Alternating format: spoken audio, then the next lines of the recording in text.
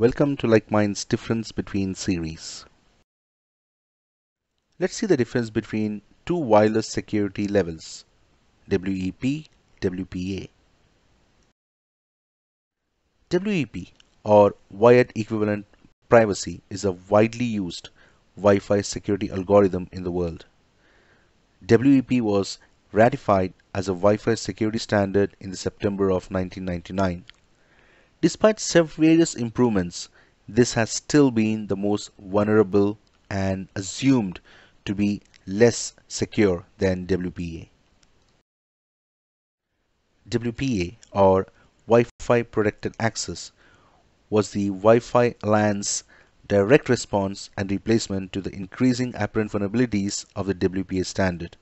As of now, this is the de facto security algorithm used to secure Wi-Fi networks.